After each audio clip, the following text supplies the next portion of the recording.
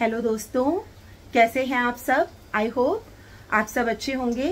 I am also very fine दोस्तों, आज मैं आपके साथ एक बहुत ही इंटरेस्टिंग रेसिपी शेयर कर रही हूँ, और वो उस रेसिपी का नाम है सूजी के स्टफ्ड चीले दोस्तों, मैंने सारा सामान रेडी करके रखा हुआ है। ये देखिए, मैं आपको दिखाती हूँ। मैंने ये, आप देखिए ये।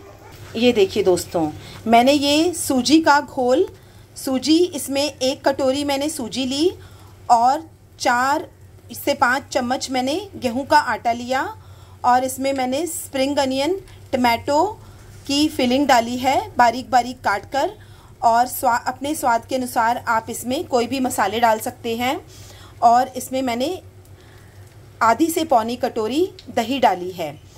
और इसके बाद इसमें आप नींबू भी डाल सकते हैं और इसे अच्छी तरह से फेंट कर दोस्तों, आप इसे आधे घंटे 20 मिनट से आधे घंटे तक भीगने के लिए रख दीजिए।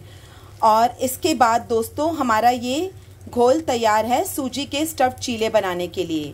देखिए, अब मैंने उसको एक बार फिर से फेंटा 20 मिनट बाद घोल को एक बार फिर से फेंट कर ये देखिए, तवे पर थोड़ा सा घी या तेल डालकर ये तीन से चार चम्मच घोल मैंने डाल दिया है और ये थोड़ी देर बाद अब इसे हम पलटेंगे।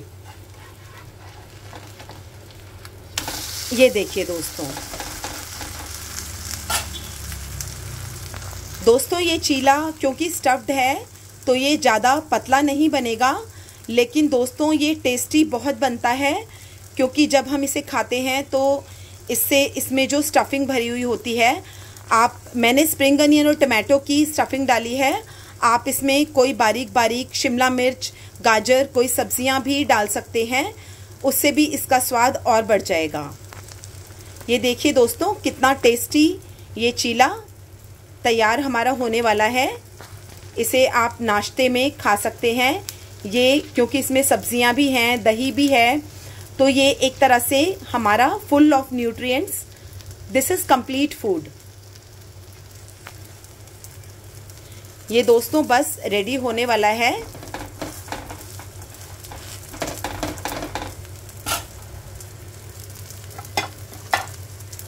इसे हम आइए सर्व करते हैं। अब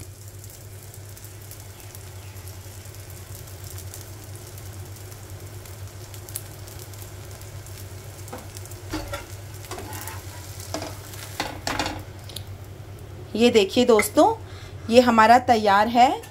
टेस्टी हेल्दी सूजी का स्टफ्ड चीला और ये इसके साथ हम खाएँगे ये धनिए पुदीने की चटनी।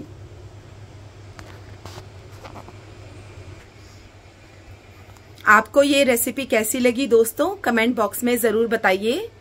थैंक यू वेरी मच अपना ध्यान रखिए। मिलते हैं नेक्स्ट वीडियो में।